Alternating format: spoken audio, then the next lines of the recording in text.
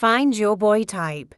You'll have an option of three images A, B, C. Choose one and write it down.